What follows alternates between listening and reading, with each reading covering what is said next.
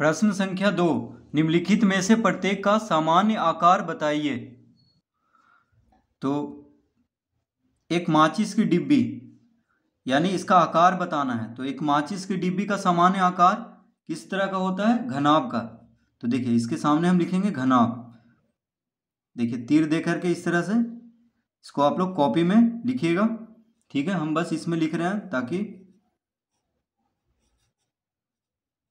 इसको लिखना ना पड़े। एक माचिस की डिब्बी किस तरह का होता है? घनाभ के आकार का। ठीक है? हम क्या लिखेंगे? घनाभ। पाउडर का डिब्बा। तो पाउडर का डिब्बा देखिए, बेलन के आकार का होता है इस तरह का। ठीक है? तो इसको बेलन कहते हैं। और माचिस का डिब्बी देखिए, इस तरह का आकार का होता है, यानी इसको घनाभ कहते हैं। ठीक है? तो हम पाउडर का डिब्बा के सामने क्या लिखेंगे? बेलन। बेलन ठीक है? तीसरा फुटबॉल तो देखिए फुटबॉल किसके तरह का होता है? फुटबॉल होता है गोला, देखिए इस तरह का तो इसको क्या बोलते हैं? गोला। तो हम यहाँ पे लिखेंगे गोला। एक ईट तो एक ईट देखिए, एक ईट होता है इस तरह का, घनाभ के आकार का? तो हम घनाभ लिखेंगे।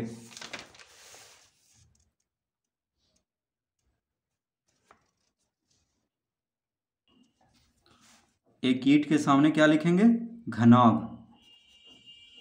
जैसा माचिस का डिब्बी होता है, उसी तरह का ईट होता है, देखिए देखने में। बस माचिस का डिब्बी छोटा होता है, ईट क्या होता है? बड़ा। तो ये भी घनाभ ही हुआ। तो ये हो गया घनाभ, ठीक है? प्रश्न तीन। एक पिरामिड के आधार के फलक का आकार कैसा होता है? एक पिरामिड के आधार के फलक का आकार कैसा होता है? तो देखिए तो पिरामिड के आधार का फलक तो देखिए आधार मतलब जो जो नीचे रहता है, उसको आधार कहते हैं। ठीक है, जैसे हम लोग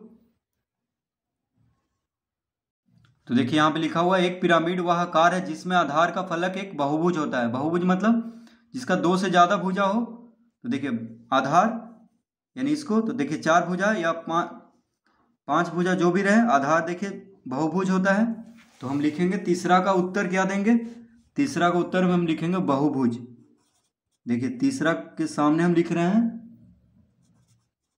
इसका उत्तर हम देंगे बहुभुज। घन एक विशेष प्रकार का घनाभ है, कारण दीजिए। तो देखिए, घन एक विशेष प्रकार का घनाभ है। तो घन को भी हम घनाभ कह सकते हैं, क्योंकि बस घन में यह होता है कि लंबाई, चौड़ाई और ऊंचाई बराबर होता है, लेकिन घनाभ में बराबर नहीं होता है। तो देखिए, घन को हम विशेष प्रकार का घनाभ कह सकते हैं। तो इसमें हम लिखेंगे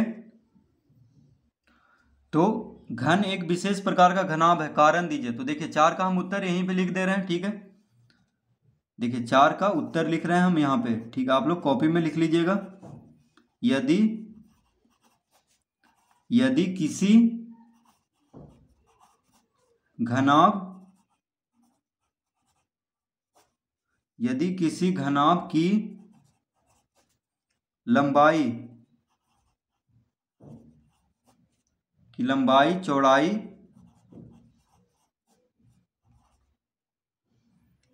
लंबाई चौड़ाई और ऊंचाई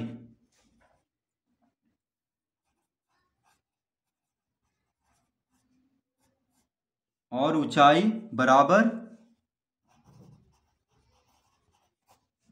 बराबर हों तो उसे घन कहा जाता है।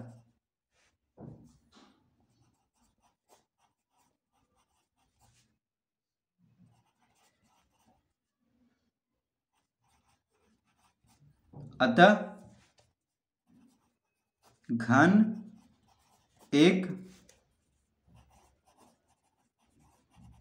विशेष प्रकार का घनाभ है। ठीक है, देखिए। यानी अगर किसी घनाभ का लंबाई, घनाभ में क्या होता है? लंबाई, चौड़ाई, और ऊंचाई अलग अलग होता है, लेकिन घन में बराबर होता है। इसलिए हम घन को एक विशेष प्रकार का घनाभ कह सकते हैं। तो यही उत्तर हम दे देंगे प्रश्न चार में। ठीक है? तो प्रश्न चार देखिए हल हो गया। पाँच निम्नलिखित के जोड़े लगाएँ। तो यहाँ पे जोड़े लगाना यानी मिलाना है। तो देखिए घन कौन है? तो घन ये है देखिए घन जिसका लंबाई चौड़ाई और ऊंचाई बराबर हो जैसे लू, लूडो में होता है जिसमें एक दो तीन चार पाँच छः लिखा हुआ होता है ठीक है जिससे हम लोग खेलते हैं लूडो को। तो वो क्या है? घन है क्योंकि उसका इसका देखिए लंबाई चौड़ाई और ऊंचाई बराबर होता है।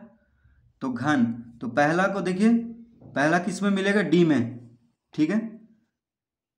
पहला देखिए डी में मिलेगा, ठीक है? तो पहला का उत्तर होगा डी। अब देखिए तो इसको इस तरह भी हम यहाँ पे भी देखिए इसको उत्तर लिखते जाते हैं। पहला का डी, ठीक है? पहला का क्या होगा? डी। देखिए, इसका हम उत्तर भी लिखते जा रहे हैं यहाँ पे। पहला का डी, गोला। गोला कौन है? तो गोला है ये सी तो दूसरा का सी देखिए, दूसरा का सी ठीक है? घनाभ। घनाभ यहाँ पे कहाँ पे है? देखिए, ये घनाभ है। तो इस तरह से हम ले जाएँगे इसमें। तो तीसरा का ई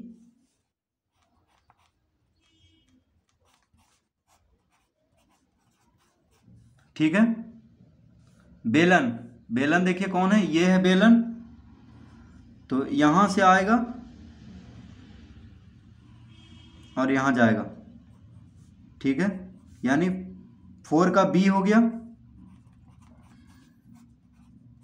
फोर का बी। ठीक है?